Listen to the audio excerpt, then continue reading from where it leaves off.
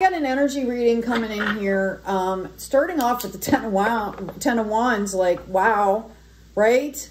Uh, somebody is in the midst of harvesting here. This is beautiful, although you might feel a little bit overwhelmed. Um, I feel like you're coming...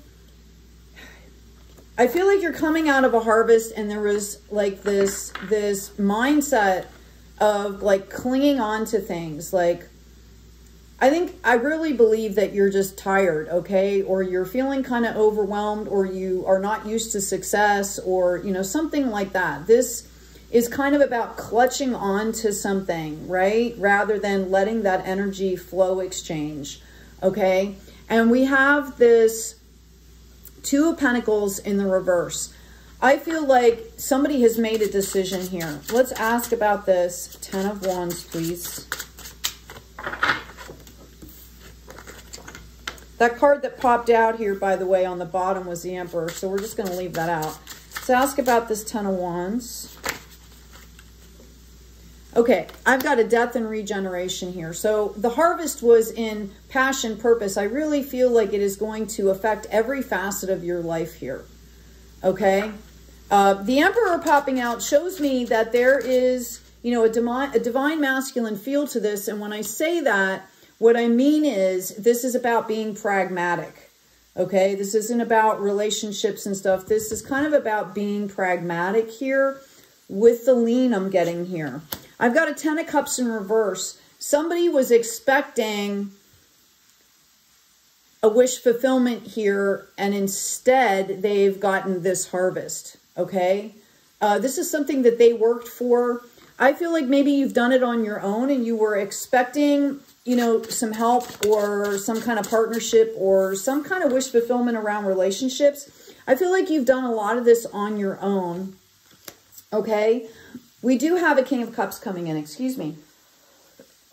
Excuse me. I feel like some of you might possibly have had a choice, okay, between two situations, two groups of people. And I think you kind of, I think you kind of leveled up on your own. Like you kind of extricated yourself here.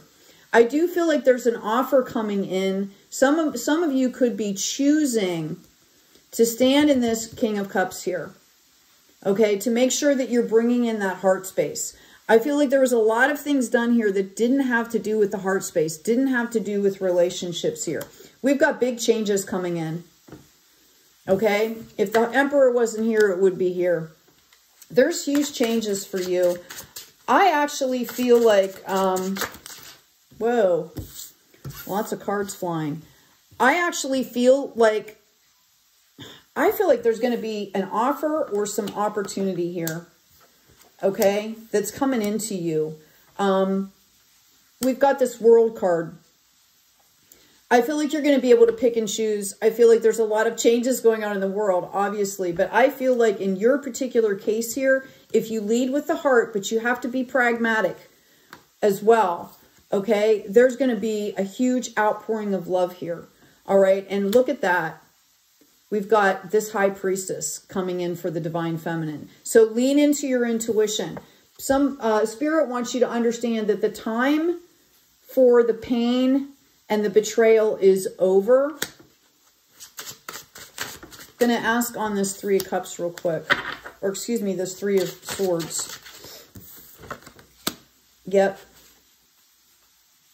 I feel like, yeah, I feel like there could have been depression around something right? And maybe that's why this kind of got confusing up here. I do feel like maybe there were some people around you. There was someone kind of paying attention, but there was, um, there was a lot of emotion around something. And uh, it was, somebody was not ready to start like this new beginning. So this could be somebody around you. It could be you. Okay. I'm going to grab another deck and just get some qualification here. Yeah. We've got Earth Angel energy coming in here. We've got Eight of Cups. Oh my gosh, there you go. There's the Ten of Cups. Okay. After you move away from all of this, and I will put them in order as they came out. Sorry about that, guys. There you go. Okay. After you move past all of this, there's going to be you know, that's where you're getting this king of, or excuse me, this 10 of cups. So you need to stay pragmatic, but you also need to lead with the heart, the heart space, okay? Um, yeah, rather than doing things by the book, I feel like you have kind of realized that you need to do things your way. There's a mending that's been involved here. Remember I talked about that heart space. And you're being called out here to stay in this higher power. Okay? I feel like there's a higher power involved here and you're being called out to to stay in that. Uh, by the way, please check the description box. Uh, check out the store. We've got healing energy coming in. We've got it's all good. And there's a reunion of souls here. And I really feel like that's more of a tribe or a situation, not necessarily a relationship. I'm going to pull a karma card for you. In the description box, there's a download, intro to astrology, that gives you everything you need to know about your natal chart. First one out here is the serving of others, the details of what, do what you must do. And, and then it's coming in in Virgo, which is interesting. You might want to check your placements, okay? The drive for the confronting of an action in March, Mars. I feel like for a lot of you, this has been about facing your own stuff. That's what this re regeneration, these huge changes. And when you do something like that and you start to move forward, it opens up the door for other things to come in. Okay, the oracle card I have for you is, wow, it's number 11. If the fox can't find his tail. All right, I'm really intrigued now. Number 11. Let's see what we got. Dig deep into your own authentic knowing, avoiding compromise. Avoid chasing your tail. This fox can't find a tail. It might be because he's chasing the wrong things and looking in the wrong direction. One that is unnatural to him. Okay, it talks about fear. You may you may still have fear. You're coming from a place of fear. We talked about coming from the heart space. Okay?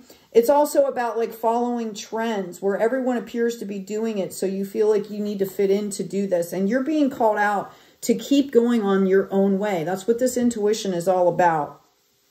Okay? If you don't have all the facts, it's okay to change your mind, right? Do what's right for you. All right? And as you come back into your own higher power here, okay? You're going to stop chasing your tail. You're going to come from a gentle, grounded, empowered place. So much good is possible when you do this. So anyway, I hope this has been helpful. Please take good care of yourselves, take good care of each other, and as always, be kind out there.